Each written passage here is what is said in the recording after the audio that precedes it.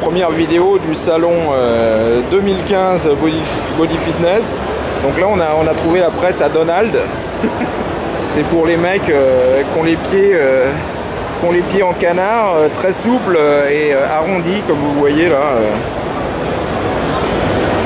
Il faut avoir les pieds arrondis pour pouvoir faire cette nouvelle presse qui doit coûter la peau des fesses. Et puis en passage, je suis avec Gromit qui s'est fait le look paléo diet.